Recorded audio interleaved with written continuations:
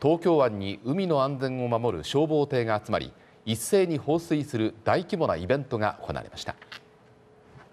一斉放水が始まりました。5色に色分けされた水で東京湾がカラフルに染め上げられていきます。